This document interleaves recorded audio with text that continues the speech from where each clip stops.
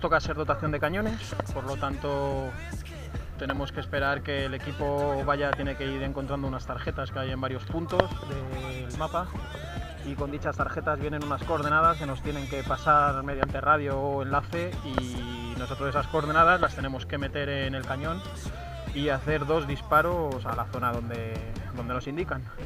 Entonces tenemos dos cañones y somos cuatro operadores de cañón. Eh, nos tenemos que estar repartiendo entre uno u otro porque cada tarjeta identificará un, cañón u otro para, para que nosotros tenemos. Esa es nuestra misión de hoy.